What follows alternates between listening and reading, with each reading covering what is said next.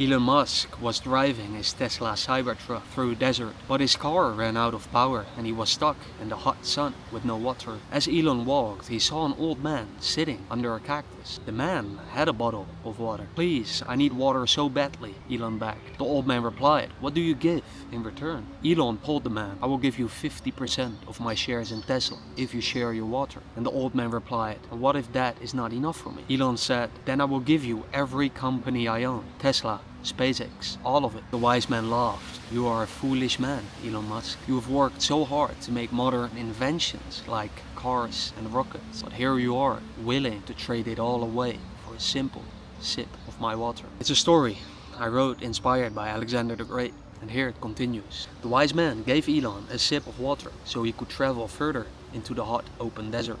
This became the day that Elon Musk became a desert man. His only possessions were the clothes on his back and a strange watch that the old man gave to him. This was no ordinary watch though. Instead of showing the current time, it counted down how many days he had to live. The desert man didn't know why he was chosen to have it. All he knew was that as long as he could remember, the watch had been ticking away, reminding him that his time on earth was limited. Most people lived their lives acting like they could be around forever. They made big plans for the far distant future without realizing how quickly time was passing them by. But the desert man could never forget that his life was short. The ever decreasing number on his wrist was impossible to ignore. Some days staring at the decreasing digits on his watch made the desert man feel anxious and afraid. But over time, he realized his special watch was actually a precious gift. Instead of wasting his numbered days on unimportant pursuits, it made him live every moment to the fullest. While Elon Musk rushed around chasing wealth, success, reputation, a created illusion about purpose to Mars, approval for others and so on, the desert man was content with his simple life, only in search of water. This was the day he became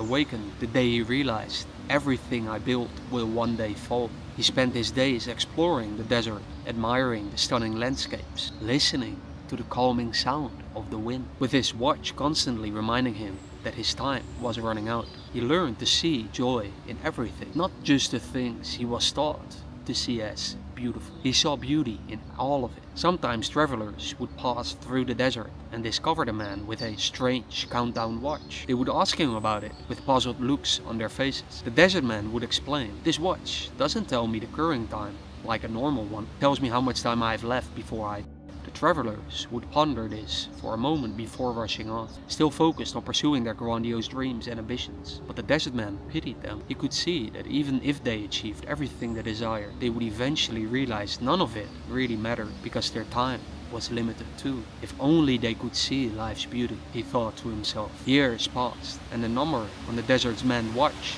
ticked lower and lower. He watched it count down, but not with sadness anymore, with a sense of calm. With his time so clearly limited, each day was precious to him. At last, when the final day of the watch signaled his time had come, the desert man smiled peacefully, knowing he had truly appreciated the miraculous gift of life, minute by minute. In the far distance of the desert sand, he recognized the old man that gave him the watch. He watched at the old man with a contented smile. He raised his wrist one last time to gaze at the countdown, finally reaching zero, when he whispered these last words to himself. Old friend, our meeting at the cactus changed the entire course, while others blindly rushed through their days. Your watch awoke me to the fragility of my existence. We are all but grains of sand in the desert. Your gift helped me appreciate every grain, every second, as most people cannot. I live, truly live because of you. May you find the truth in life, for it can open your eyes and lose them in the sunset in front of you. If my story inspired you